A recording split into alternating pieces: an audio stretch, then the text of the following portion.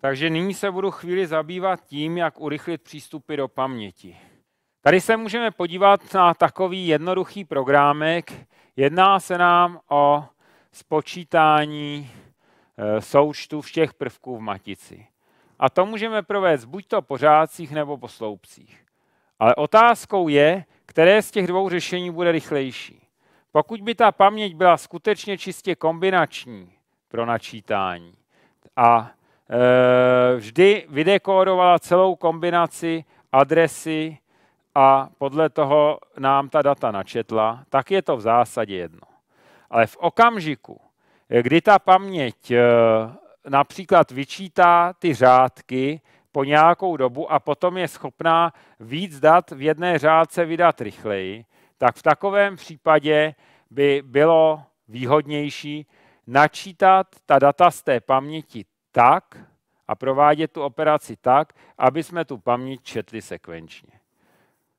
Problém je, že musíme vědět, v jakém formátu jsou ta data v té paměti uložená. Pokud se budeme bavit o jazyce C, tak jsou pořádcích, takže se nám vyplatí sčítat pořádcích. Naopak, pokud se jedná například o prostředí programu MATLAB, tak tam jsou uložená po sloupcích.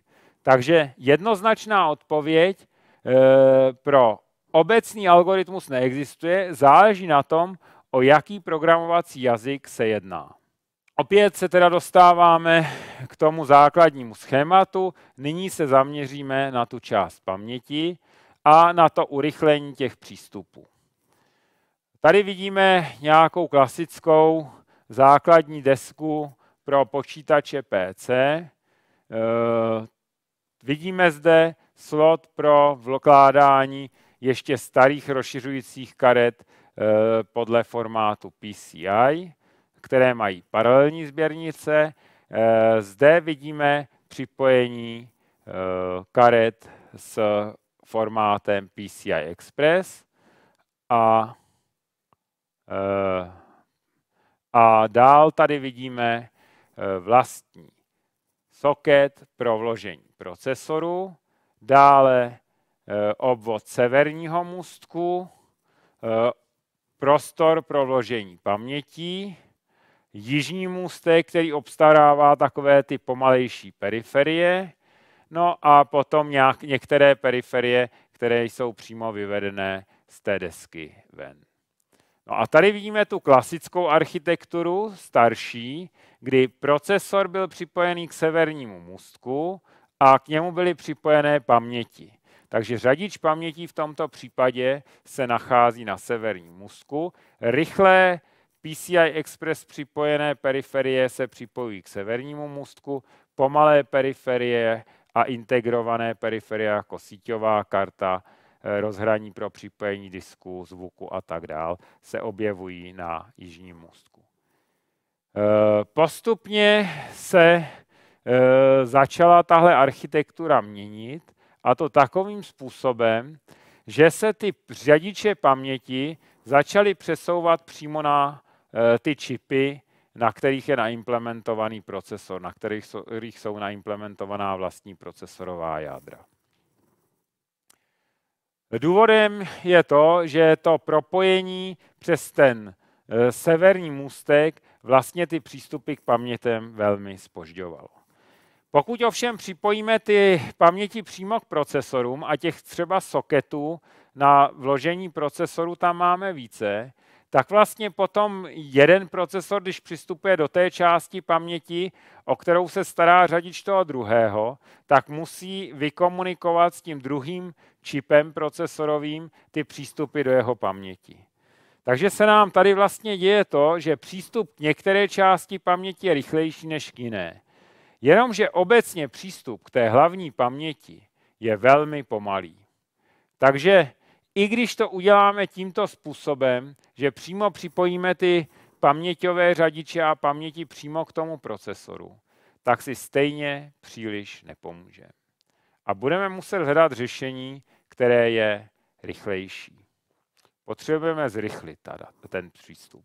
Tady vidíme v minulých letech, jak vypadal nárůst eh, výkonu procesorového jádra. Především je zde vidět ten eh, razantní nástup riskových architektur, k jejich vzniku eh, páni profesoři přispěli. A pak tady vidíme teda v dnešní době zpomalení. Dnes již nárůst výkonu na jedno jádro roční je někde okolo 3% a pravděpodobně se zastaví úplně. Ovšem nárůst propustnosti pamětí je stejně tak obrovsky pozadu proti nárůstu výkonu procesoru, že vlastně e, stejně ta paměť je v tuto chvíli tou hlavní brzdou. Jo. Pokud se budeme bavit o statických pamětech, jak jste již viděli v minulých přednáškách, tak e, tam potřebujeme 6 tranzistorů na tu paměťovou buňku. Její plocha může být velmi malá, ale ještě zase tak extra malá není a potřebujeme nějakou prodlevu okolo 1 nanosekundy až 5 nanosekund, aby jsme ji přečetli. V okamžiku, kdy se budeme bavit o pamětech s větších kapacitou, tak se budeme snažit ty paměti realizovat pouze s jedním tranzistorem na buňku. Tím pádem tu vlastní paměť, kam tu informaci uložíme, nahradíme malým kondenzátorem. Ale jakmile použijeme ten malý kondenzátor, tak potřebujeme tu hodnotu v něm obnovovat, protože ten kondenzátor se s časem vždycky bude vybíjet. No a přístupová doba takové paměti může být e, okolo 20-30 nanosekund na to, než se nám podaří vybrat tu správnou řádku. Potom nám ta data již může vydávat rychle, ale přístup k těm datům náhodně je velmi pomalý. Jo? Tady se můžeme podívat na nějaký algoritmus třeba třídění pomocí bubble sortu a e, jakým způsobem ty přístupy urychlit. Když se podíváte na typický algoritmus, tak je u něj časté to, že přistupuje k datům, která leží blízko u sebe. Je pravděpodobné, že když při třídění přistoupíme v prvku číslo 2, tak potom budeme později přistupovat k prvku číslo 3. Bubble sort je v tomhle vysloveně plně predikovatelný, ke kterým prvkům bude přistupovat. Dále dochází k tomu, že pokud nám proběhne jeden cyklus toho algoritmu, tak většinou dojde k tomu, že budeme v dalším cyklu alespoň některá data z toho předchozího cyklu potřebovat také. A tím pádem můžeme využít při těch přístupech k paměti toho, že pokud načítáme data určitého prvku, tak můžeme předpokládat, že budeme pracovat s těmi sousedními prvky. Ať už se jedná o položky struktury nebo prvky v poli. Takže se nám vyplatí i za cenu, že se nepatrně prodlouží doba na čtení na začátek, načítat nikoliv jeden prvek z paměti, ale protože ty dynamické paměti umí potom e, ty prvky, které jsou sousední, když se již ta řádka načte, e, vlastně předávat do procesoru velmi rychle, tak z toho důvodu se nám vyplatí využít takzvané prostorové lokality toho, že ten algoritmus nepracuje nad celou pamětí nad náhodnými místy, ale velmi často e, pracuje s těmi prvky poblíž. Takže načteme jich víc s tím, že budeme očekávat a předpokládat, že ty sousední prvky také použijeme a tím dojde k tomu zrychlení, že nebudeme muset načítat znovu. E, další je takzvaná, e, e, či to je e, prostorová lokalita a další bude časová lokalita. Tehdy, pokud e, již nějaká data načteme, tak je velmi pravděpodobné, že ta data použijeme ještě někdy znovu. Takže například u toho našeho algoritmu bubble sortu dojde nejspíš k tomu, že v dalším průchodu použijeme ta minulá data. Otázka je, kolik těch dat si takto pamatovat. Ideální by bylo Eh, mít rychlou paměť, do které bychom načetli všechna ta data z hlavní paměti a potom pracovali již s tou rychlou pamětí. Ale to by měla tak velkou kapacitu jako ta původní paměť a tím pádem by její dekodéry a další položky byly natolik rozsáhlé, že by ve výsledku byla stejně pomalá jako ta původní paměť. Takže toto řešení použít nemůžeme. Musíme si jenom vybrat tu část těch dat, s kterými aktuálně pracujeme a hledat ty nejlepší algoritmy, které nám využijí, umožní využít e, tuhle rychlou paměť o menší kapacitě tím nejlepším způsobem. Takže, když se nad tím zamyslíme, jakým způsobem pracovat s daty rychle, tak nejrychleji jsou e, přístupná ta data, která jsou ve vlastních registrech procesoru.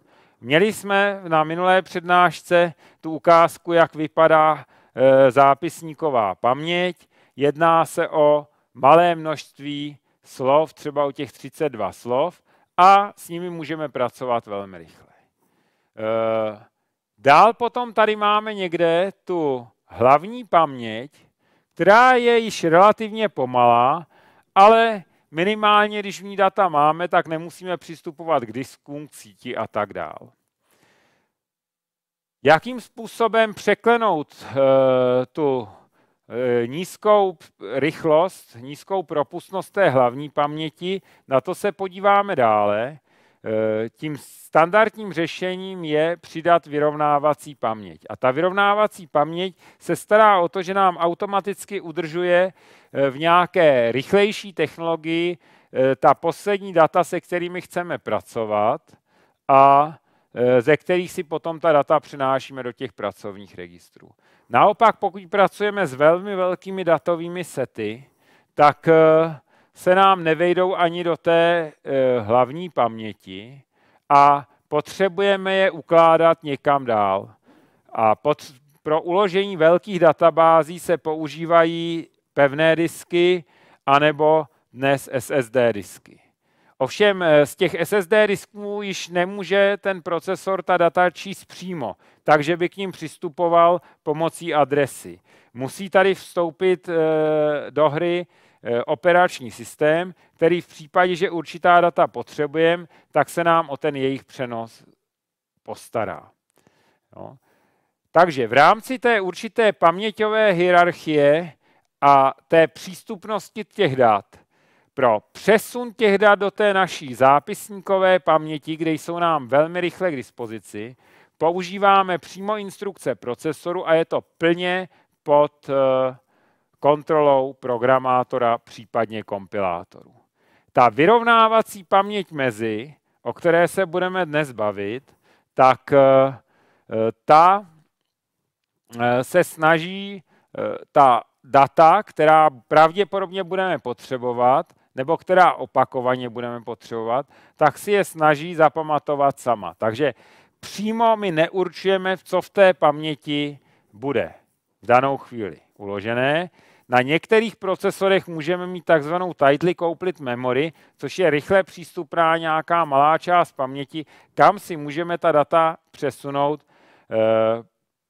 za kontroly operačního systému nebo přímo našeho kódu. Ale u běžného procesoru tady ta e, rychlá, malá statická paměť není přímo viditelná, je transparentní z hlediska přístupu. My přistoupíme na tu hlavní paměť a ta data se nám přepíší do té rychlé paměti.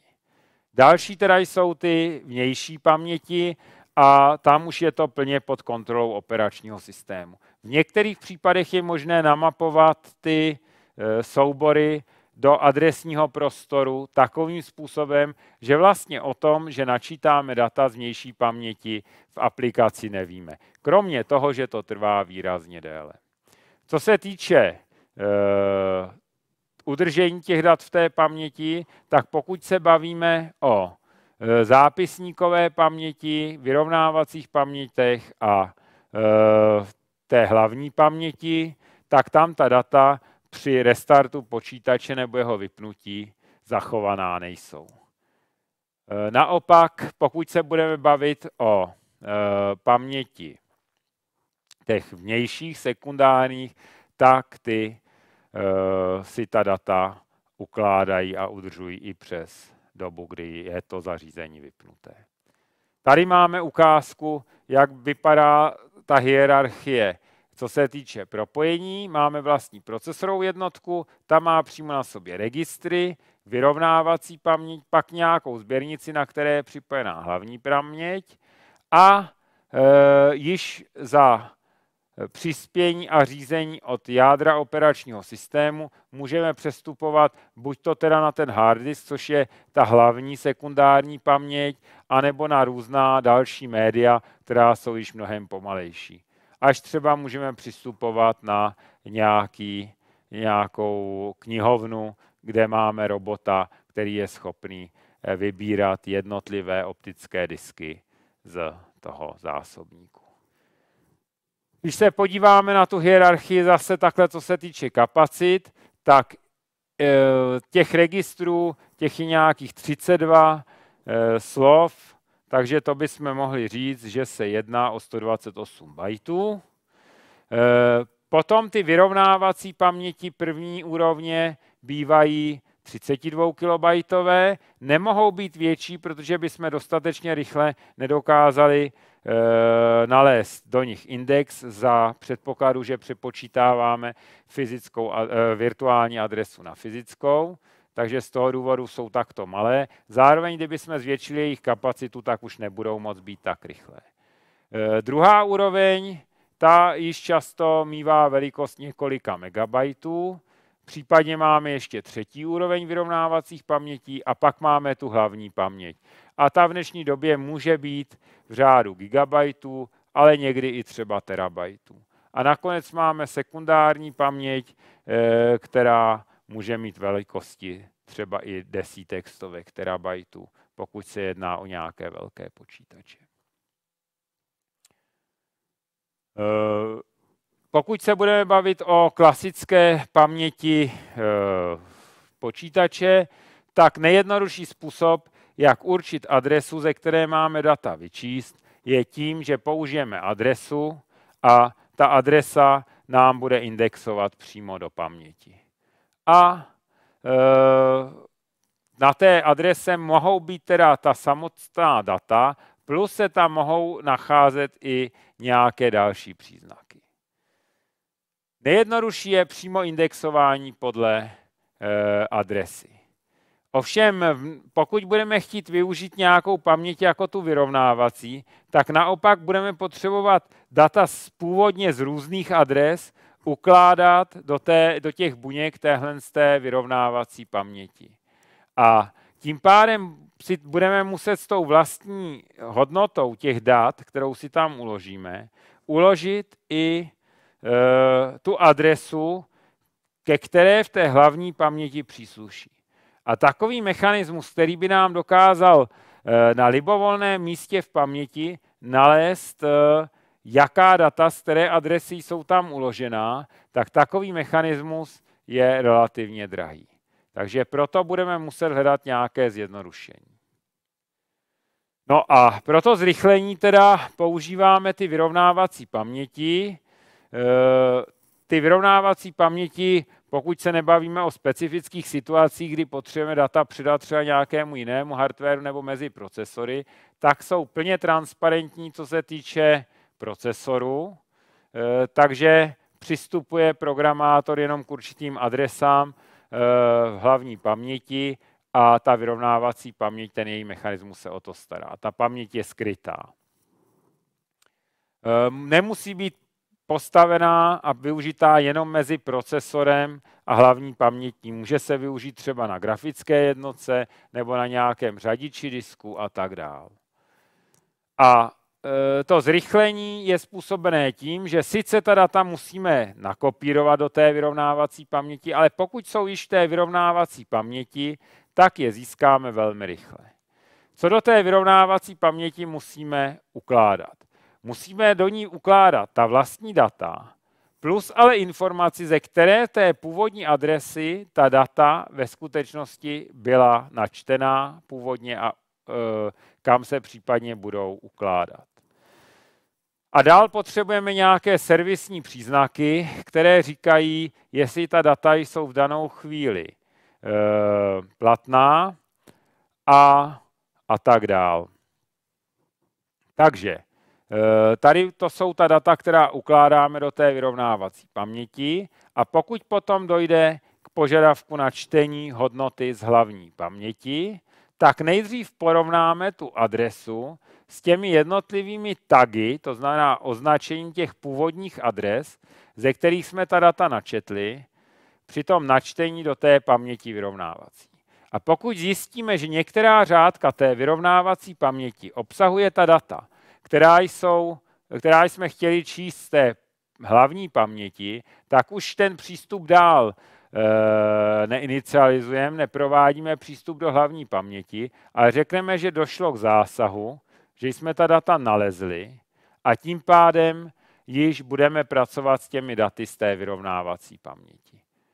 Ta paměť nám je vydá. Takže ve výsledku se budeme bavit o vyrovnávacích pamětech několika úrovní.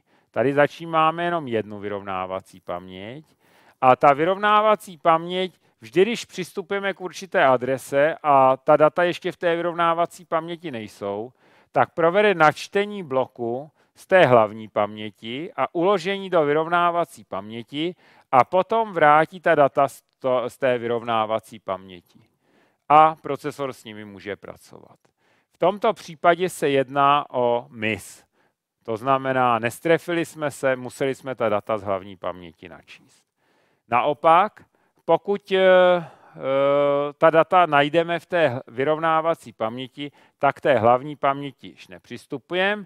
No a eh, pro porovnání a určení, jak moc byl efekt, bylo efektivní využití té hlavní paměti, tak používáme informaci, která, které se nazývá hit rate, jak často jsme se strefili a ta data byla navrácená z vyrovnávací paměti.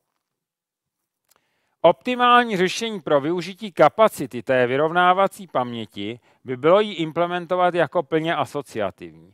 To znamená, že pokud načítáme data z hlavní paměti, protože ve vyrovnávací paměti nejsou, tak určíme libovolné volné místo v té vyrovnávací paměti a tam ta data uložíme a příště budeme přistupovat k datům eh, na tomto místě v té vyrovnávací paměti. Ovšem problém je, jak potom nalézt, kde se ta data nacházejí, protože bychom museli celou to vyrovnávací paměť prohledávat na přítomnost té dané adresy. Takže plně asociativní paměť by se nám líbila, ale znamenala by procházení těch tagů přes všechny řádky té vyrovnávací paměti. Proto se e, zmenšuje vlastně ten počet míst, kam v té vyrovnávací paměti ta data můžeme uložit. A dělá se to buď to takovým způsobem, že ta paměť je takzvaně přímo mapovaná.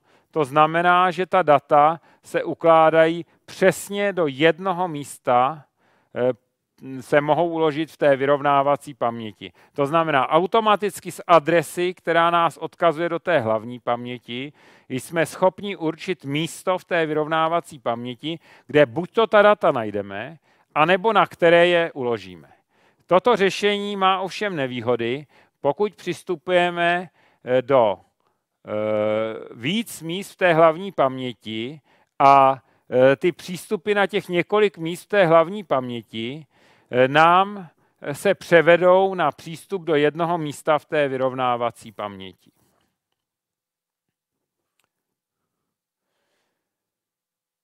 Co se týče zápisů do hlavní paměti, tak Buď to při zápisech tu paměť vyrovnávací nepoužíváme a přímo ta data zapisujeme do hlavní paměti, ale tím potom ty zápisy trvají dlouho. Případně můžeme přidat nějaký write buffer, eh, nějakou paměť jen s několika položkami, která si pamatuje ty poslední zápisy a ty zápisy eh, zpracováváme paralelně k Eh, tomu, že načítáme další položky do vyrovnávací paměti. Obecně to načítání má přednost, protože na ta data načítaná ten procesor čeká. Naopak při zápisu, eh, pokud ta data někde nějakou dobu zpracováváme, tak ten procesor mezi tím může dělat něco dalšího užitečného. Potíž je, že při zápisu se musí ta data stejně zapsat do paměti cache, pokud již v paměti cache v danou chvíli jsou. Protože jinak bychom při příštím čtení četli data z paměti cache a přitom bychom vlastně měli číst data, která nám ještě čekají v tom write bufferu. Takže při zápisu vždy musíme ta data, pokud již ta položka v paměti cache je, tak je musíme číst. Další možnost je, že i při zápisu ta data uložíme do paměti cache a pokud tam nejsou, tak e, nalezneme pro ně nové volné místo v té paměti cache. A paralelně s tím nám běží zápis do té paměti. No a nebo poslední řešení, které se nazývá writeback a je nejvýhodnější, funguje takovým způsobem, že ta data zapíšeme jenom do té vyrovnávací paměti, ale do hlavní paměti je budeme zapisovat až tehdy, kdy budeme potřebovat to místo v té vyrovnávací paměti pro nějaká data nová. Zásadní problém je, že tu vyrovnávací paměť velmi rychle zaplníme. Takže můžeme počítat s tím, že ta vyrovnávací paměť je v podstatě trvale plná. A musíme rozhodnout o tom, která data z té vyrovnávací paměti obětujeme na to, aby jsme do ní mohli uložit data nová. E, pokud bychom dokázali předpovědět, ke kterým datům bude program přistupovat s největší pravděpodobností, tak bychom tam měli nechat tato data. Ale my takovou křišťálovou kouli nemáme, takže se používají různá zjednodušení. Jedno zjednodušení je, že nalezneme náhodně nějakou položku v té paměti a tu vyměníme. Další možnost je, že budeme hledat tu položku, ke které procesor nejdelší dobu nepřistupoval, čili least recently used. Nejméně používanou položku nahrazujeme eh, pro nový obsah z nové adresy, pro kterou tu paměť vyrovnávací potřebujeme. Další možnost je least frequently used, to znamená, nahradíme tu položku, která byla nejméně často používaná. Ale pokud se nám nějaká položka, která je i jednou za delší dobu, čas od času používaná, tak to v paměti cache umhnízdí, tak už ji z té paměti cache nedokážeme dostat ven.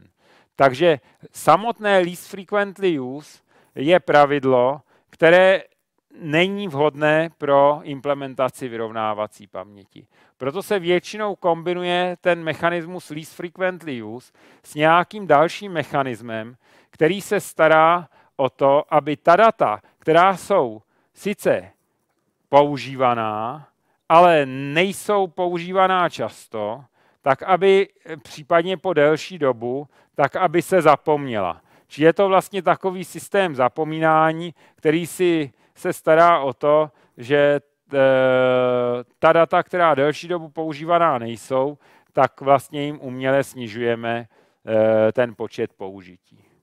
No a potřebujeme teda se bavit o tom, jestli budeme mít wraiteback nebo nebudeme mít wraiteback. Eh, většina dnešních procesorů sice se navenek a na, pro programátora tváří jako procesory s von Neumannovskou architekturou.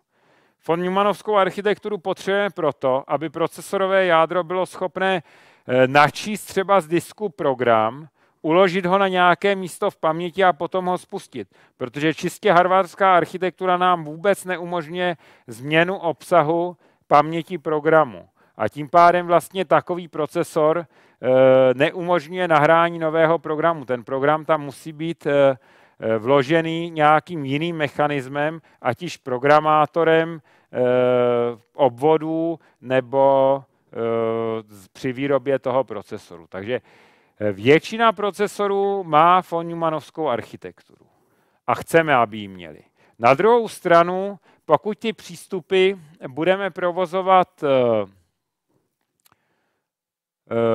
paralelně k té paměti jak při načítání instrukcí, tak při načítání kódu, uh, tak při načítání dat, tak bude ta propustnost malá. Proto se snažíme přidat vyrovnávací paměť pro instrukce a pro data zvlášť. Protože většinou s těmi daty, které eh, zpracováváme jako data programu, tak většinou je okamžitě nespouštíme jako instrukce. Naopak v okamžiku, kdy připravíme nějaký nový program v paměti pomocí operací datových, tak musíme zajistit, aby se nám sesynchronizovala e, ta paměť dat a propsala se nám data do té paměti instrukcí. Na některých eh, procesorech dochází k tomuto překopírování dat automaticky, na některých procesorech se musí vyvolat speciální řídící instrukce. Eh, podíváme se na to, jakým způsobem alokovat položky v té paměti cache pro nově příchozí data. Z hlediska využití kapacity té paměti cache by bylo nejlepší, pokud bychom do libovolné položky v té paměti, tady máme zakreslené svisle, tak kdybychom do libovolné položky mohli e, ta data uložit a pokud bychom našli tu položku, to místo v té paměti, které je nejméně využívané. Ovšem, e, jak jsme již si řekli, tak e, v tomto případě by potom nalezení té položky znamenalo procházet ta servisní data přes všechny položky. Takže toto řešení je relativně pomalé. Naopak, eh, pokud eh, se rozhodneme, že přímo k dané adrese napevno zvolíme, kam se bude ukládat ta položka, tak to vyhledání je velmi rychlé. Stačí nám jenom zkontrolovat, jestli eh, v tom daném místě v té vyrovnávací paměti ta data jsou nebo nejsou.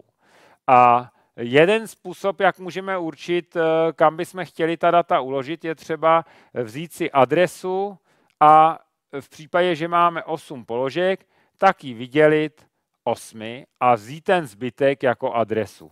Dělení nebo zbytek po dělení e, mocninou dvou získáme vlastně velmi jednoduše, protože nám stačí odebrat si z té adresy jenom spodních n bitů. V tomto případě spodní tři bity a ty nám vyberou tu položku. Toto řešení ale často vede k tomu, že dochází ke kolizím a není příliš výhodné.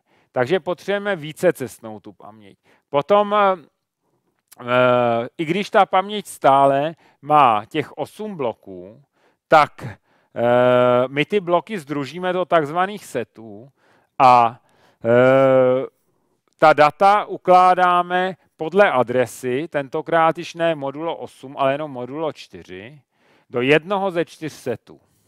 A v tom setu je ukládáme do toho bloku, který byl méně používaný. Teď se podíváme na tu přímo mapovanou paměť, takže tady si zjednodušíme ten mechanismus, že nám stačí jen jeden komparátor tím, že vezmeme v tomto případě třeba tři byty adresy a ty tři byty adresy nám určí, kterou řádku budeme zkoumat na přítomnost té adresy, toho tagu, který nás zajímá. A když těch eh, hor, eh, horních 27 bitů se bude skorovat z 27 bity z té adresy, tak víme, že jsme zasáhli data ve vyrovnávací paměti a nemusíme už přistupovat do hlavní paměti. Výhodné řešení.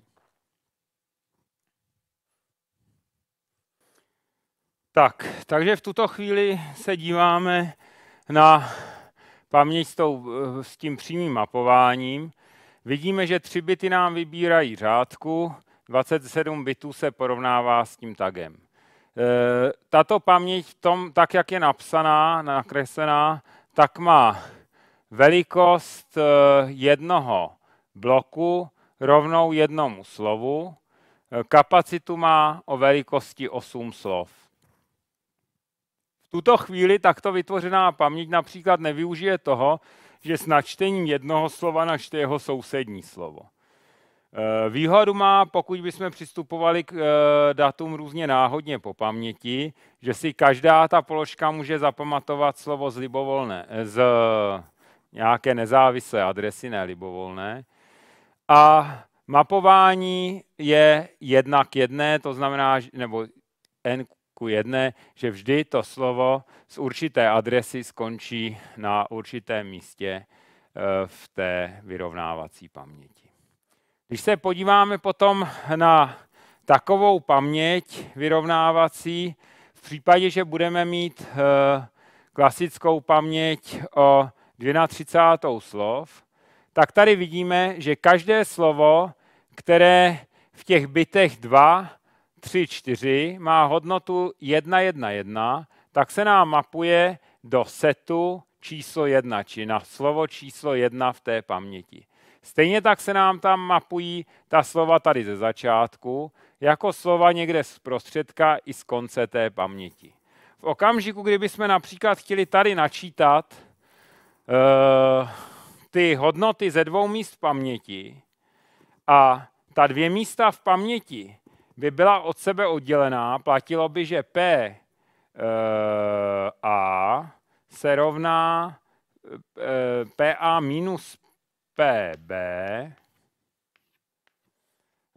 když přetypujeme tenhle ten rozdíl na integer, tak když ho přetypujeme na int ptr t a e, provedeme jeho bytovou masku s hodnotou e, 0x e, 0, e, 0, 0, 0 a tadyhle budeme mít, to jsou byty 1c. Tak pokud tato část toho rozdílu bude nulová, tak potom pokud budeme přistupovat na ta dvě místa, to znamená, sem bude někde přistupovat PB, sem někam PA a ta vzdálenost jejich bude e, násobkem kapacity paměti cache, tak dojde k tomu, že přistoupíme na položku PA, PA, e, a, a, či tady bude proměna A, A0 si sem zapíšem a přistoupíme na PB, jenomže protože se nám to e, ta položka mapuje do stejného místa v paměti, tak okamžitě musíme vyměnit v té vyrovnávací paměti e, tu položku za B0.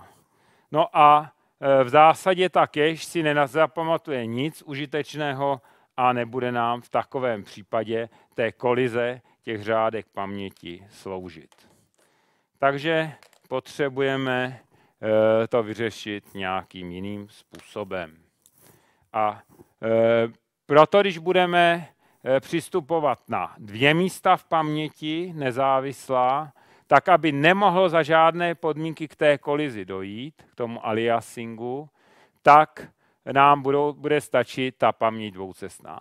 Kromě toho, že do té vyrovnávací paměti potřebujeme uložit ta data, tak tam musíme ještě uložit informaci o tom, jestli na té dané položce teda jsou ta data validní v té paměti, ten vlastní tak. A potom tam potřebujeme uložit ještě informaci, jestli ta data v té paměti cache jsou aktuální a jestli se shodují s daty v hlavní paměti, protože při zápisu můžeme ta data uložit jen do té vyrovnávací paměti a do hlavní paměti je přesunout tím mechanismem v write back až teprve tehdy, pokud eh, se nám eh, hodí zase znovu ta položka pro nějaká jiná data. Eh, kromě toho, že někdy ukládáme jenom ten bit, který říká, jestli ta data jsou modifikovaná v paměti cache a bude je potřeba potom přehrát do hlavní paměti, tak kromě toho v některých případech, pokud tu paměťky sdílíme mezi více procesory, tak místo jednoduchého dirty bitu se přidává více stavů, takže jestli ta položka je invalidní, jestli je vlastně daným procesorem, sdílená mezi více procesory, jestli jsou v ní data modifikovaná, jestli k ní v danou chvíli má e, ten daný procesor jenom exkluzivní přístup. To je zatím nad rámec e, naší základní přednášky.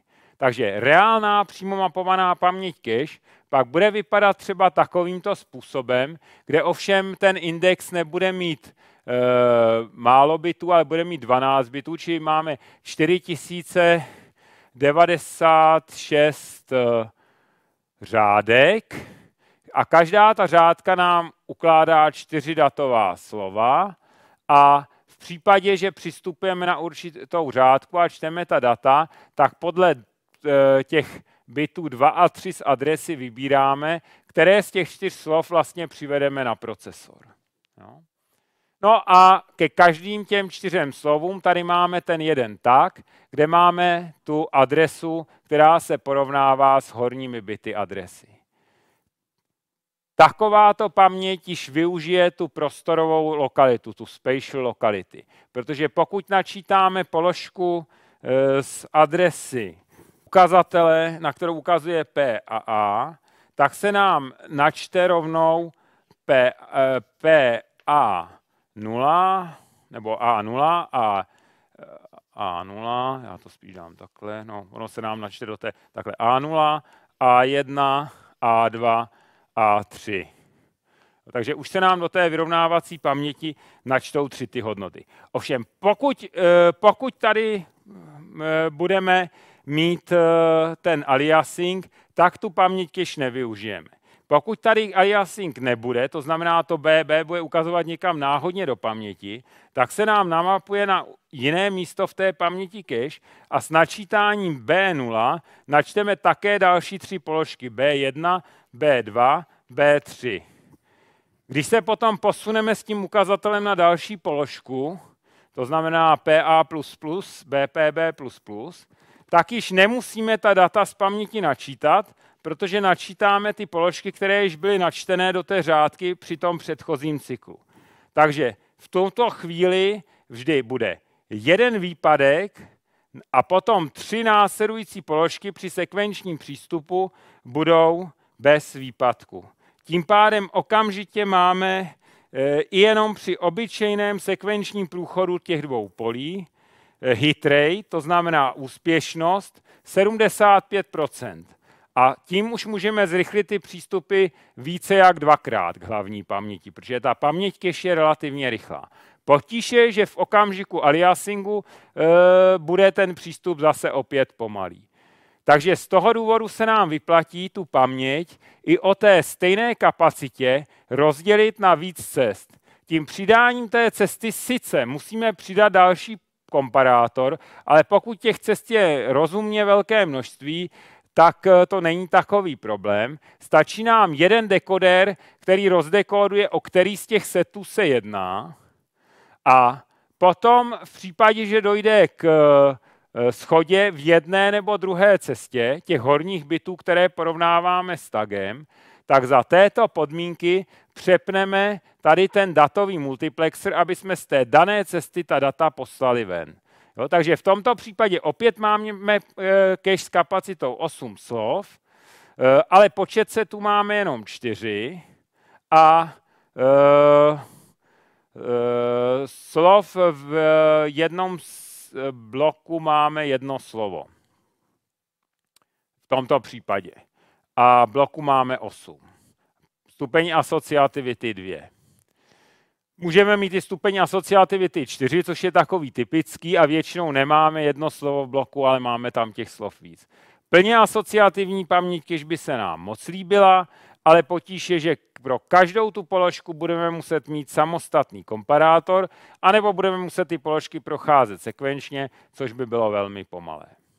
Z těch parametrů, o kterých se bavíme, tak máme hit rate, což je ta úspěšnost nalezení dat v e, paměti cache, miss rate, to je naopak ten doplněk, jak často se nám to nepovede.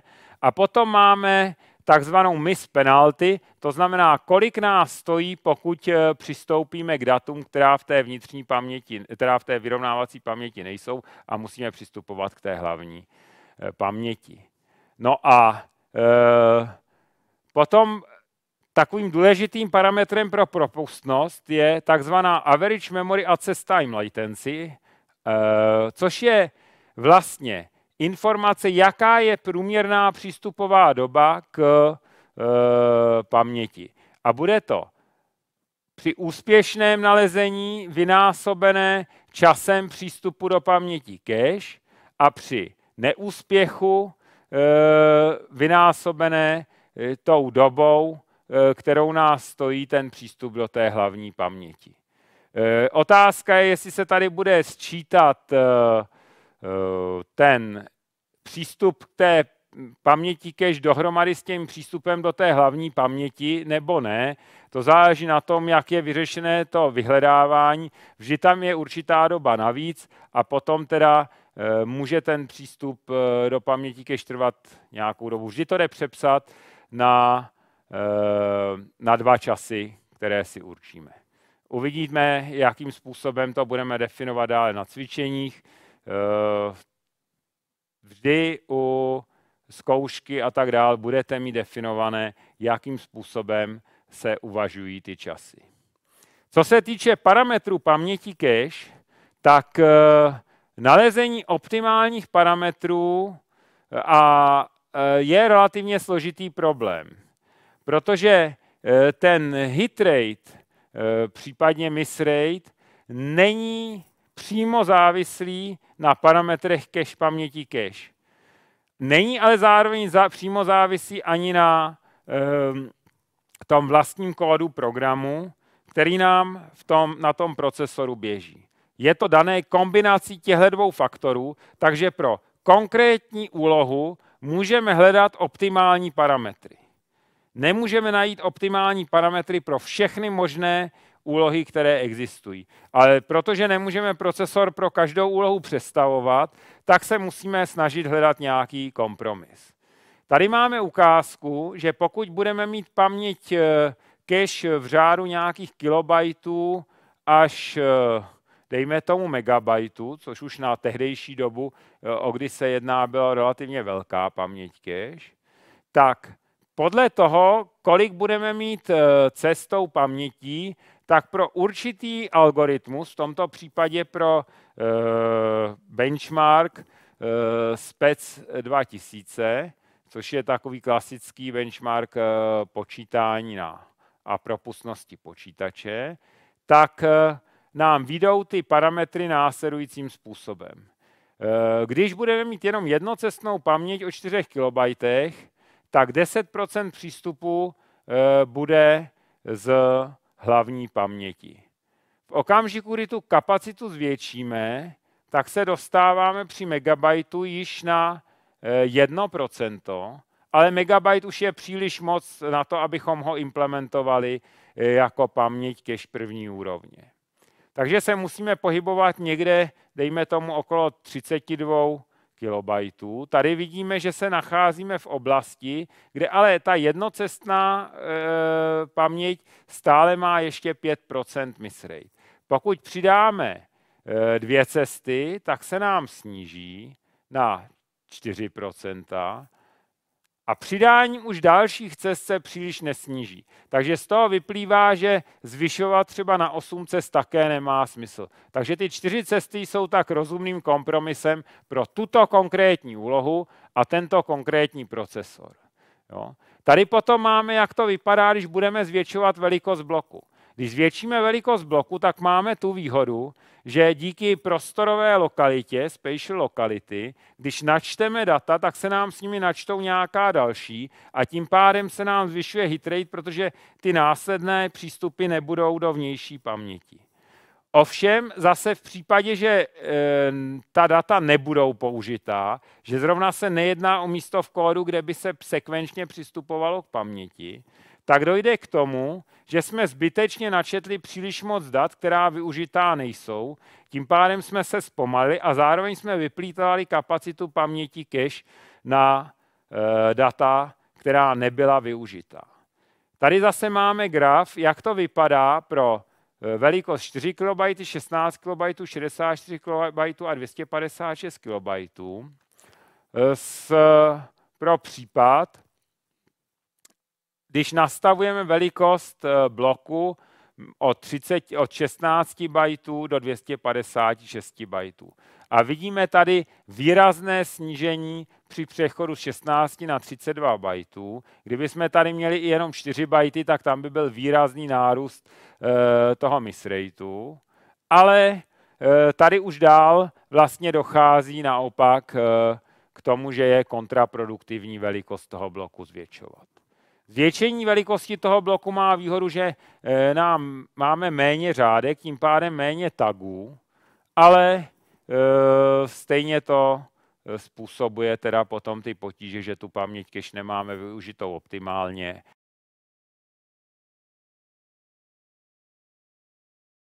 Řekneme si, že teda tady máme ten náš kód na sčítání dvou vektorů. A my si předáme do návrhu našeho procesoru paměť vyrovnávací. A přidáme si tam vyrovnávací paměť programu jednocestnou s čtyřmi sety o dvou blocích, dejme tomu,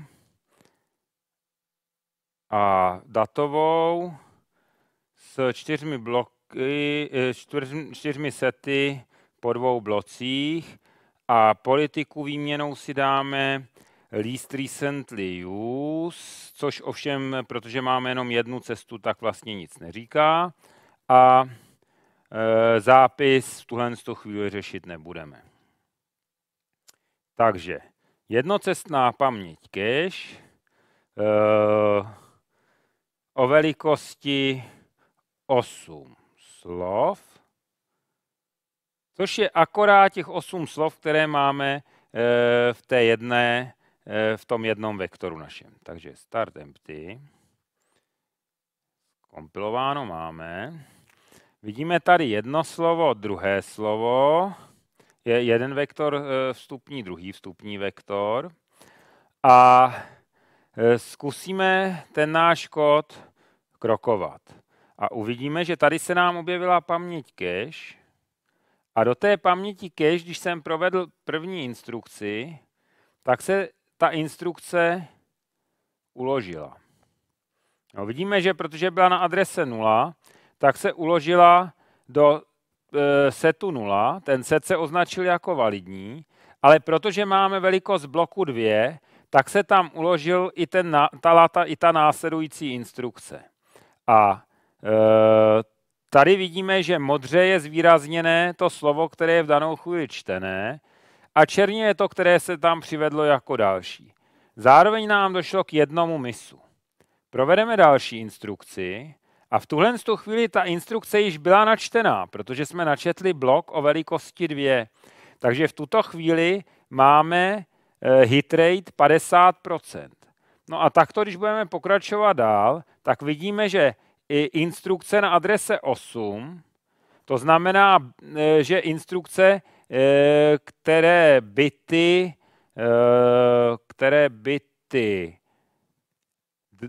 3 a 4 nám směřují na set číslo 1, nikoliv 0, ale na 1, tak se nám nahrála s tou další instrukcí. Teď uvidíme, jak se nám načtou další instrukce a zároveň v tuto chvíli se nám načetla první data. Takže se podíváme, co se nám stalo v datové paměti cache.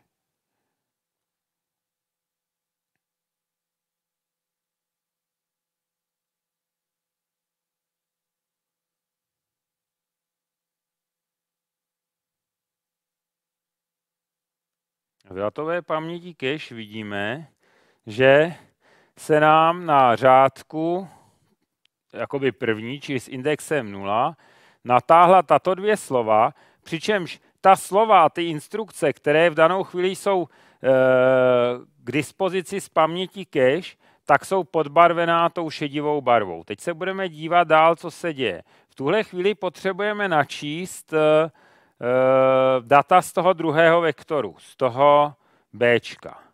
Jenomže v tuto chvíli jsme načetli tato, tyto dva, dvě slova, jenomže jejich eh, mapování do paměti cache datové nám vyšlo na tu stejnou první řádku, jako to bylo v případě uh, té, těch položek z té adresy 2000. Takže vidíme, že stále žádný hit nebyl. A když budeme pokračovat dál,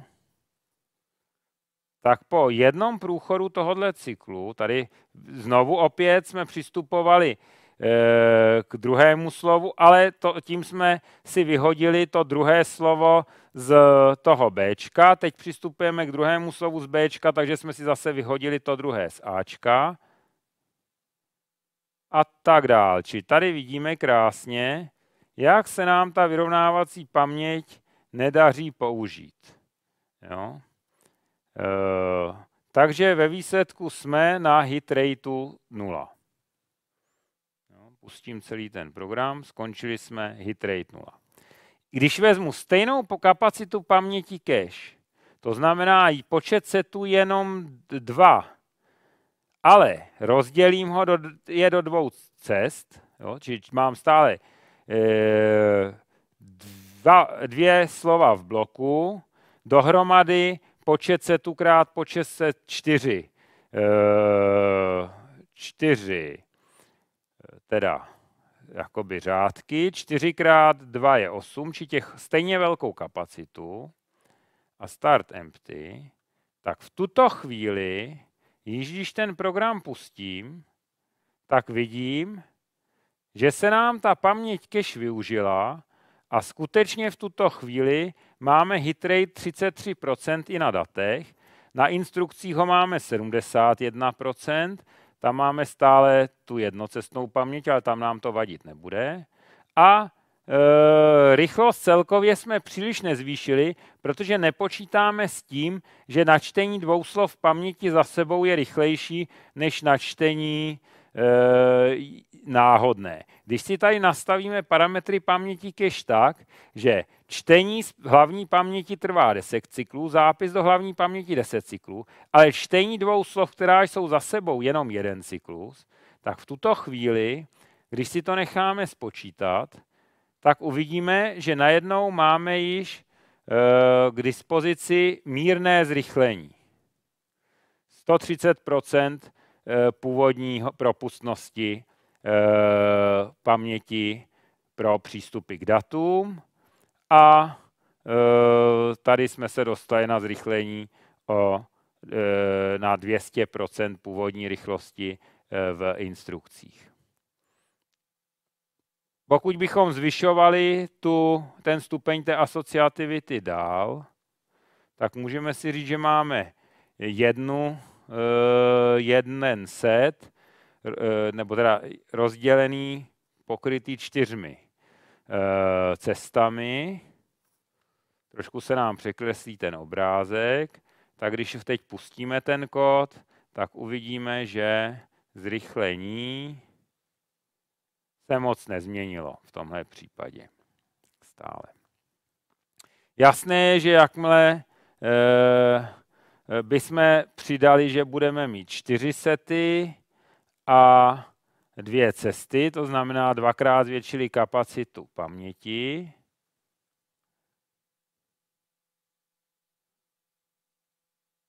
Ne, čeká, to jsem nezvětšil.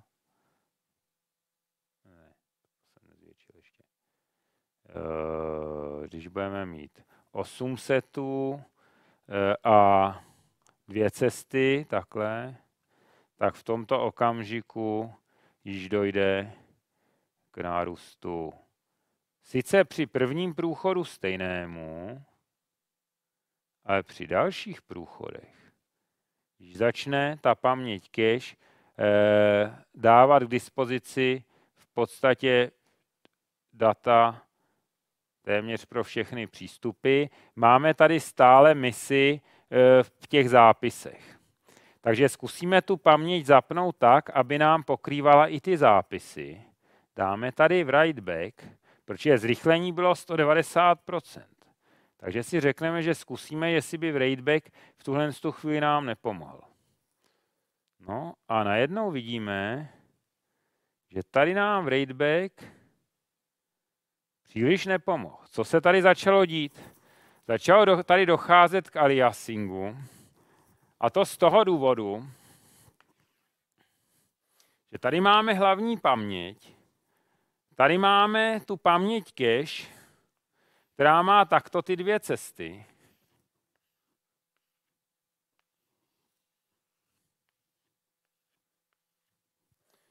A tady máme e, teda ty naše tři proměny A0, A1, A2 až tak dál do A7, e, B0 až B7 a C0 až C7. A budeme předpokládat, že ty adresy eh, těch začátků, těch našich proměných, eh, jsou od sebe vzdálené o násobek velikosti paměti cache.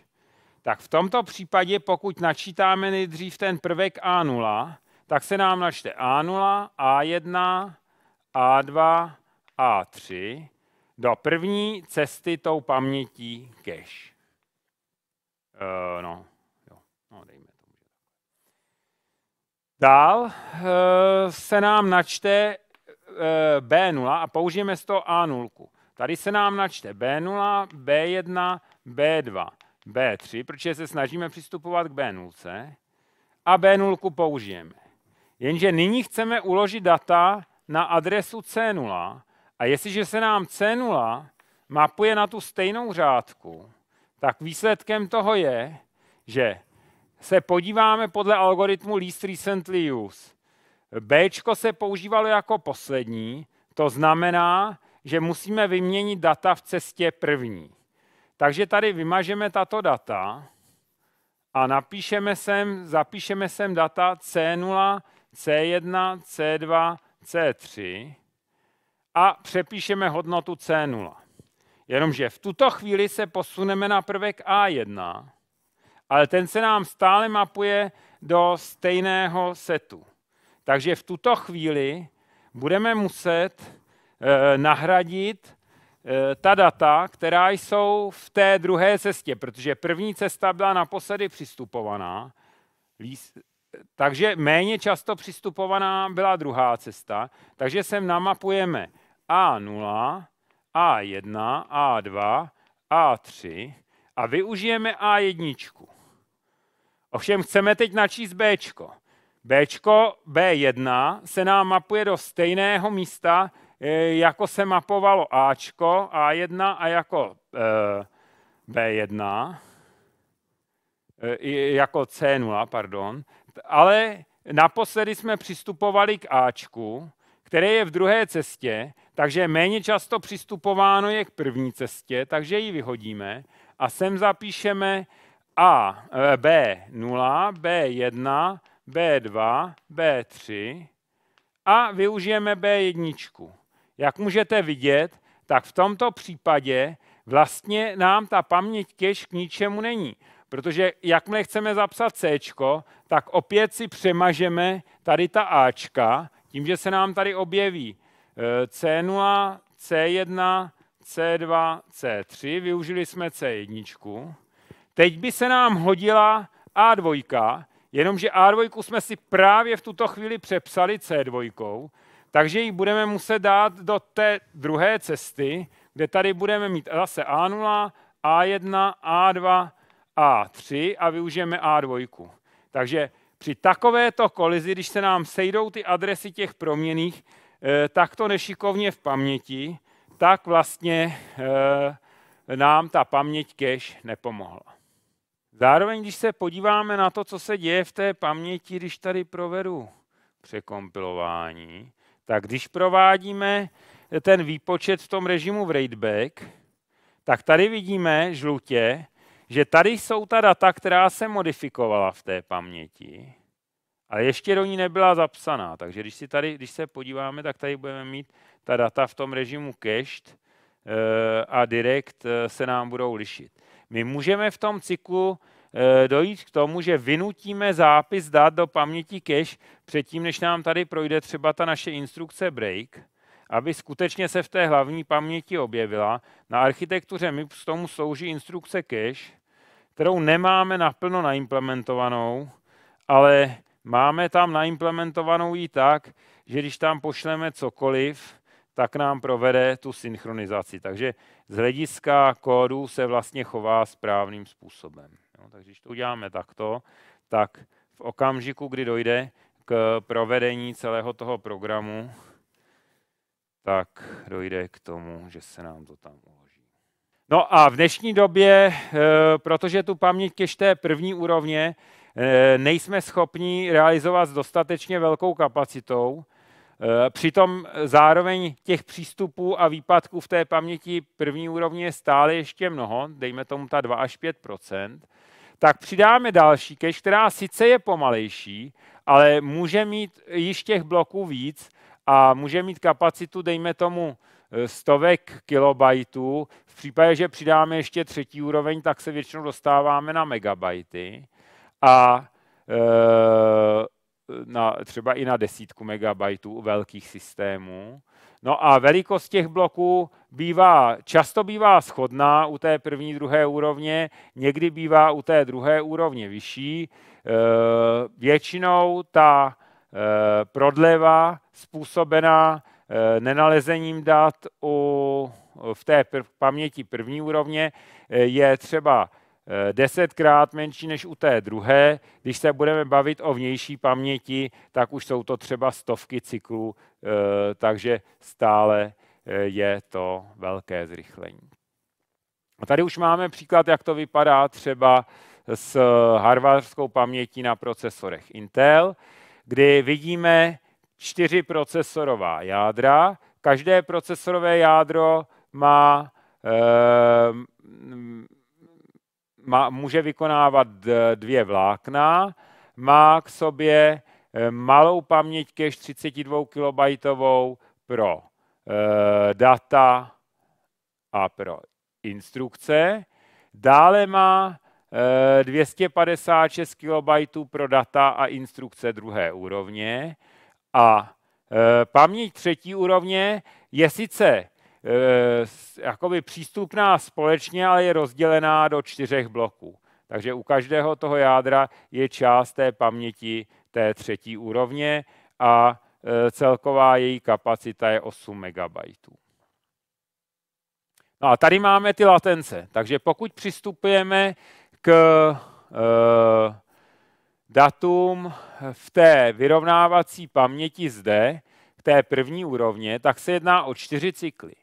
V okamžiku, kdy přistupujeme k druhé úrovni, tak se jedná o 25 až 30 hodinových cyklů. Ten hodinový cyklus eh, bude u třeba procesoru, který má eh, frekvenci nějak, hodin nějaké 3 GB, 3, 3 GHz, tak se bude jednat o 3 eh, giga o nějakých 10 nanosekund. Eh, tady. Tady se nám už bude jednat eh, v tomhle tom okamžiku o dalších, dalších dejme tomu, 20-30 nanosekund a přístupy k vnější paměti potom jsou ještě mnohonásobně pomalejší, takže tam je to těch cyklů ještě mnohem, mnohem víc. Eh, kromě toho, že s nám tady způsobuje zpomalení přístup k té vyrovnávací paměti, tak ještě máme další potíž, protože chceme používat jednotku pro zprávu virtuální paměti a z toho důvodu musíme provádět překlad virtuální adresy na adresu fyzickou. A e, pokud se nám podaří ta data najít v paměti cache a překlad již byl provedený, tak tady máme ten přístup za ty čtyři cykly. V okamžiku, kdy budeme převádět tu adresu a najdeme e, předchozí překlad v druhé úrovni vlastně vyrovnávací paměti e, překladů, tak je to sedm cyklů navíc. No a v okamžiku, kdy musíme přistoupit k vnější paměti nebo do dalších úrovní paměti cache při tom překladu, tak nám tam nabíhají další desítky, stovky a možná i několik set cyklů navíc eh, i pro ten překlad té adresy. Tady již máme parametry. Eh, ta paměť první úrovně je většinou inkluzivní, to znamená, že data v paměti první úrovně si zároveň udržují informaci pro své rychlé uložení i do té paměti druhé úrovně.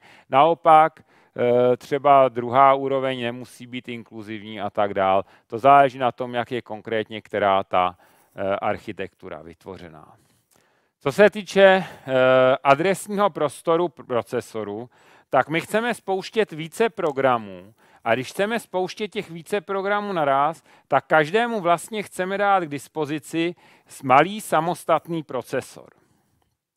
A aby jsme tohle mohli docílit, tak potřebujeme každému tomu procesu dát k dispozici e, vlastní adresní rozsah.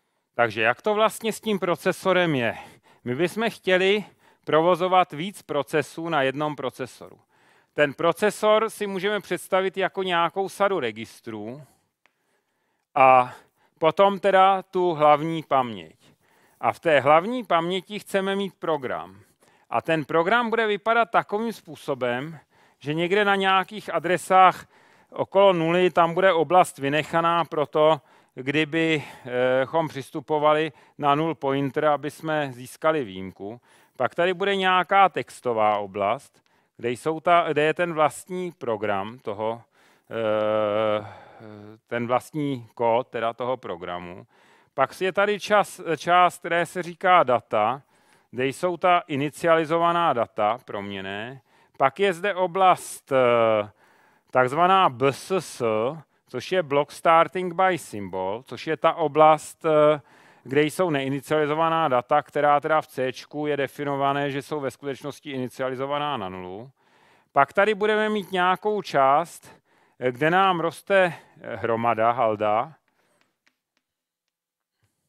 směrem nahoru. A tady budeme mít někde zásobník, který nám roste směrem dolů, tak jak se ukládají návratové adresy. A teď tohle je náš jeden proces, nad ním s nějakým stavem registru vykonáváme určitou činnost. A teď si představíme, že bychom chtěli, aby se ten systém tvářil tak, jakože tam máme dva běžící programy, třeba různé, z nichž každý má jináčí obsah té textové části, či to je proces A. A. B. Tak, a tady máme nějaký stav registru pro ten proces B. Jedna možnost je, že skutečně pustíme ty procesy na dvou počítačích, ale to je drahé. A když ten jeden třeba bude čekat na data, tak zbytečně celý počítač bude čekat na data. My chceme ty dva procesy pustit na jednom procesoru a v jedné fyzické paměti. Co to ale znamená? To znamená, že my nemůžeme eh, ty, ta data a ten text eh, uložit na ty adresy, které předepisují ty programy, protože ty se mohou schodovat, ty se mohou překrývat mezi sebou. Takže my vlastně musíme někam uložit po nějakých částech, po blocích, eh, třeba někam i na náhodné adresy, kusy toho kódu z toho jednoho programu.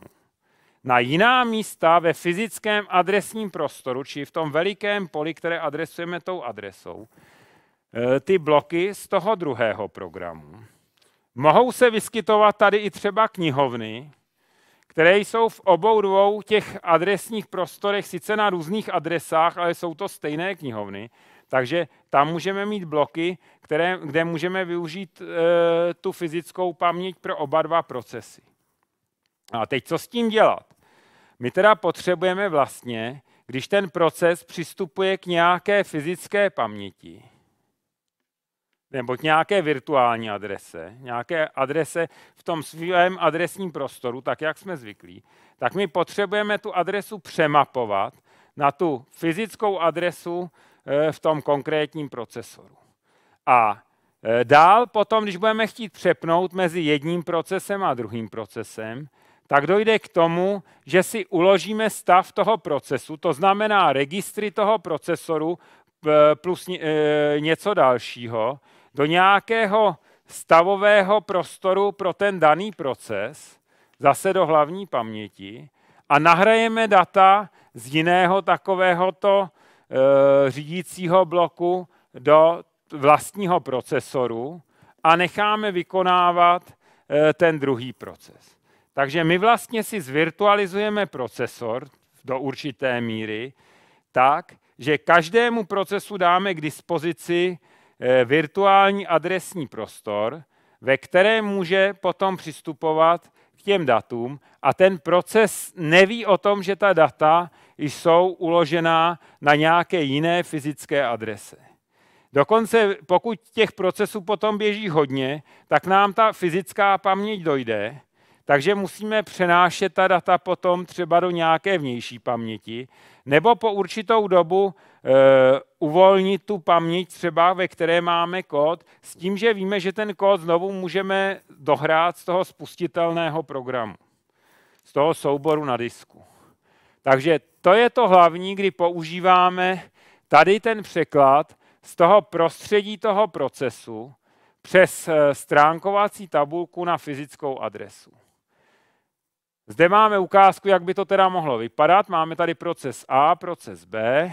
Ty procesy mohou některé ty části sdílet, některé mít zvlášť a jsou rozmístěné ve fyzickém adresním prostoru nějakým způsobem. Některé části se nám do fyzické paměti do té hlavní operační paměti nevejdou, takže zůstávají na disku. A pokud procesor přistoupí k některé z těch adres, eh, která není v danou chvíli k dispozici, dojde k výjimce. Vypadá to potom takovým způsobem, že tady máme procesor, z něho eh, vychází virtuální adresa, ta se přeloží na fyzickou adresu v jednotce pro překlad adres, Memory Management Unit, a slouží jako adresa do paměti, odkaď tu ta data čteme. Jakým způsobem takový překlad udělat? Nejrychlejší je indexování, bez jakéhokoliv vyhledávání. Takže z toho důvodu se to většinou dělá takovým způsobem, že ten adresář stránek je přímo odkazovaný, do něj se přímo indexuje, která položka se má vzít, částí té adresy. No a protože si tu paměť rozdělíme na bloky Eh, konstantní velikosti, tak ty spodní byty překládat nemusíme, protože ty nám tvoří offset v rámci té fyzické stránky nebo toho fyzického rámce paměťového. Takže paměť jsme si rozdělili eh, po pevně velkých blocích a pro každý proces máme někde ukazatel na stránkovací tabulku, která je také součástí té hlavní paměti nějakého vymezeného prostoru. A ta nám pro jednotlivé eh, adresy překládá eh, ty adresy na počátky stránek a v těch stránkách se pohybujeme offsetem. Velikost těch stránek je typicky u dnešních procesorů 4 KB, v některých výjimečných případech 8. Někdy je možné eh, pro ty části, které jsou sekvenční, uložené za sebou sekvenčně, používat superstránky, takzvané huge tables, eh, které mají třeba velikost 1 MB. Ta velikost, teda 4 KB, je taková rozumná, zároveň odpovídá velikostem alokace bloků v různých souborových systémech, takže pokud se to spolu sladí, vychází to celkem pěkně.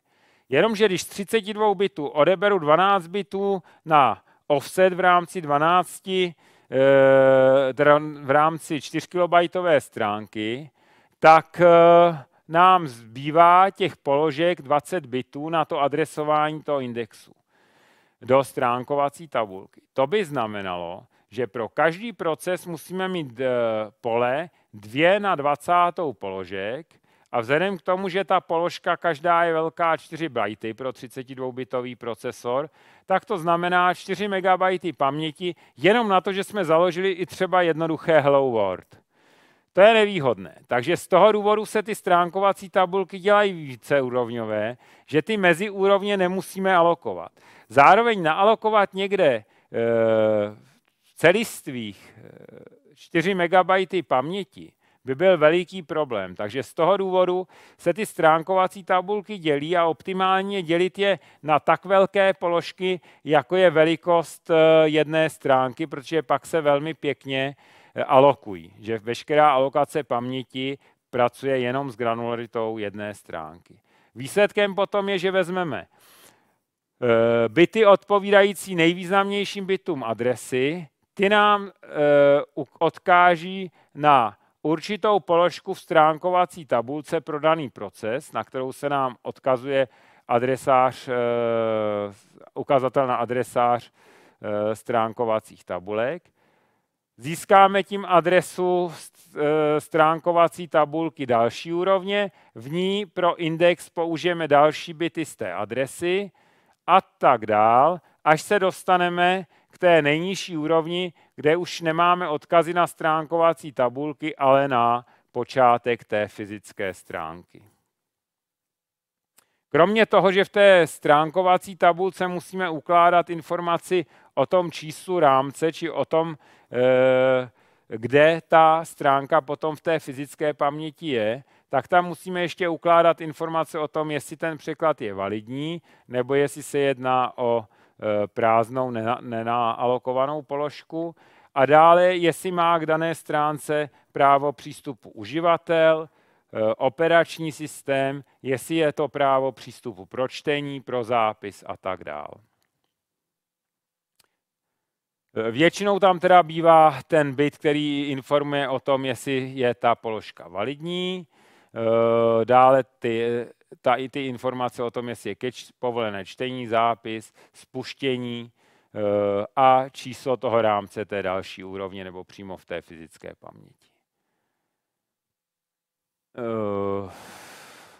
v okamžiku, kdy přistoupíme k adrese, která není tou stránkovací tabulkou popsaná, kde je informace, že daná položka není platná, nebo někde na těch vyšších úrovních, že stránkovací tabulka chybí, tak dojde k výjimce.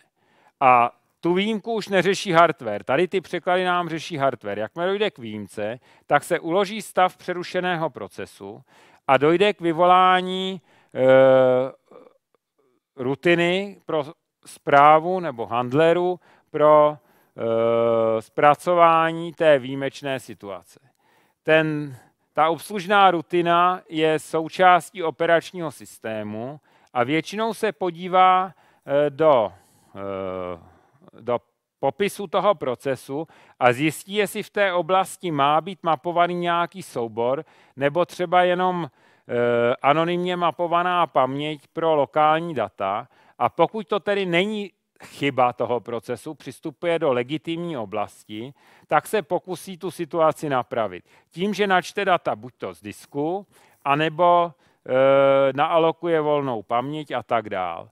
A dál restauruje ten původní stav toho procesu a nechá tu danou instrukci, aby byla provedená znovu a pokud vše dopadne dobře, tak proces nic nepozná. Nepozná to, že data musela být znovu načtená. Pokud se ukáže, že je to vysloveně chyba v tom procesu, tak eh, dojde k výjimce a eh, operační systém vyhlásí, že je chyba v procesu a ten proces zlikviduje. Případně mu o tom dá ještě napřed vědět. Pokud zjistí, že k té výjimce došlo eh, v době, kdy běžel kód z jádra operačního systému, tak to už je situace závažnější a u Linuxu se nám to objeví v logu na Windows to může skočit, skončit takzvanou modrou smrtí. Pokud dojde k výjimce uprostřed zpracování výjimky, tak dojde k eh, zastavení systému a většinou okamžitému resetu.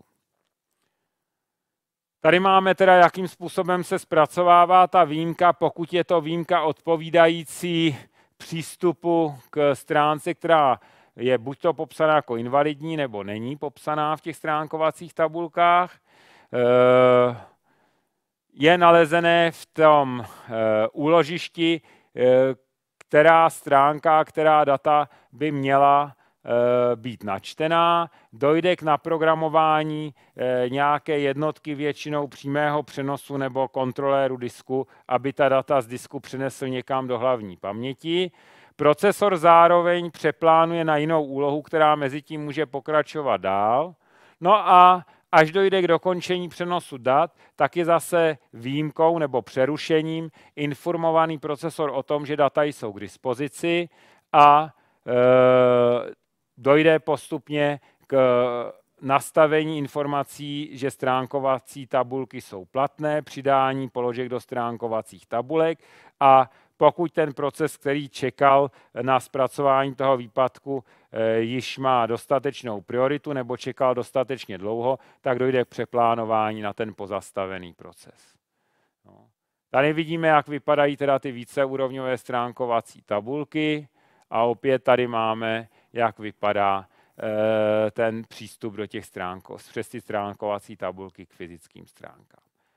Ovšem, tady je problém. Ten vlastní překlad vlastně u eh, čtyřúrovňové stránkovací tabulky by vyžadoval pro každý přístup do paměti postupně načíst položku z nejvyšší úrovně, z další, z další, další a pak teprve data. Takže na každý přístup paměti bychom museli provést čtyři přístupy k paměti eh, abychom načetli ty stránkovací tabulky. Jo. Takže na jeden přístup, na jednu virtuální adresu, to znamená pět operací čtení. Řekli jsme si, že čtení je velmi pomalé. Takže z toho důvodu se to dělá takovým způsobem, že stejně jako pro data eh, předpokládáme, že eh, ty překlady z virtuální adresy na fyzickou se budou opakovat. Takže posledních eh, třeba 16 překladů nebo více si ukládáme do takzvaného Translation Look Aside bufferu, to znamená vyrovnávací paměti překladů. A pokud najdeme ten překlad z dané virtuální adresy na fyzickou adresu již tady, tak nemusíme procházet celou tu hierarchii těch stránkovacích tabulek a ten přístup je rychlý. Tady již máme porovnání typických parametrů stránkovacích tabulek a té stránkované paměti, to znamená těch 4 KB stránek. E, Typicky těch eh, položek eh, v té vyrovnávací paměti TLB překladu je 40 až 1024. Eh, velikost vlastně odpovídá tomu bloku, který je v těch stránkách. Ovšem těch bajtů je vlastně relativně málo, takže ta kapacita té paměti Eh, toho jednoho bloku je maličká, naopak tady pro uložení celé té fyzické stránky potřebujeme 4 KB. No a e, v případě, že nenalezneme data ke stránce ve fyzické paměti a musíme přistupovat k vnějšímu disku, tak se jedná o milisekundy, e, až třeba někdy i sekundu. E, naopak, Eh, pokud teda máme k dispozici tu stránkovací tabulku, ale eh, není její překlad eh, v té vyrovnávací paměti překladů, v těch tom TLBčku, tak to bude trvat nějakých 10 až 1000 cyklů. Obvykle miss rate, pokud nemáme počítač přetížený, pro Eh, případy, kdy musíme přistupovat k vnějšímu disku pro splnění přístupu na určitou adresu, tak je velmi, velmi malý. Eh, ten, ta eh, backing store, či to znamená to úložiště, které obstarává dodání těch dat v případě výpadku, tak v případě stránek se jedná o disk, v případě té stránkovací tabulky se jedná o Eh, data v paměti. No a e, rychlý přístup, teda v tomto případě přístup k paměti, e, k datům v hlavní paměti, v případě těch překladů k TLBčku. Jasné je, že ty přístupy do té hlavní paměti jsou stále pomalé, takže ty přístupy do hlavní paměti jsou potom urychlené tou vyrovnávací pamětí kež první, druhé, třetí úrovně. No a e, takovým jedním z největších problémů, pokud používáme e, vyrovnávací paměť, je, že pokud e, máme víc procesorových jader nebo víc těch zařízení, která potřebují k té paměti přistupovat a každé z nich má vlastní vyrovnávací paměť, což je výhodnější, protože potom jí má blízko a je rychlá, tak začneme mít problémy s tím, aby se nám ta data mezi těmi vyrovnávacími paměti mi nezačala rozcházet. A proto existují pravidla e, pro koherenci a konzistenci. E, konzistence se stará o e, to, že data jsou konzistentní z nějakého logického pohledu a zajímá nás při tvorbě více vláknových aplikací. Při práci s jednovláknovými aplikacemi nebo při případě přístupu k paměti nás zajímá naopak koherence těch dat. A koherence e, zajišťuje to, že všechny procesory, které k dané položce v paměti přistupují, tak vidí e, tu položku stejně. Proto buď to musíme zrušit ty mezilehlé vyrovnávací paměti, anebo musíme zavést pravidla, která zaručí, že se nám ty změny e, nějakým způsobem do těch dalších e, vyrovnávacích pamětí dostanou.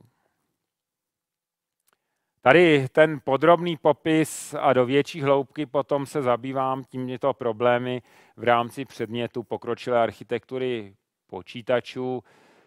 Eh, asi to tady nepůjdeme do té hloubky. Tady máme porovnání Eh, virtuální paměti a vyrovnávací paměti. Eh, v případě virtuální paměti se pracuje po celých 4 KB třeba stránkách. V případě vyrovnávací paměti se pracuje po blocích od těch 8 do 128 bajtů.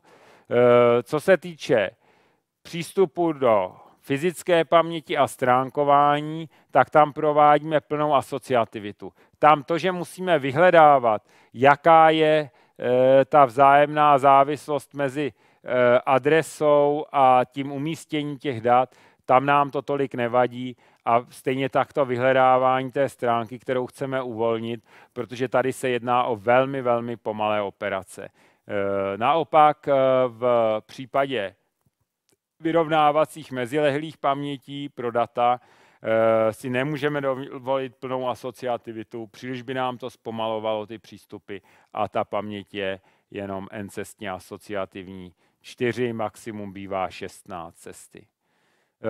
Uh, algoritmus, jak vyhledávat tu stránku fyzické paměti, uh, jejíž zrušení a nahrazení novými potřebnými daty je nejméně Eh, jaksi škodlivé, tak eh, to je docela složitý algoritmus a používají se eh, algoritmy na bázi teda least recently use. V případě té vyrovnávací paměti se také používá least recently use.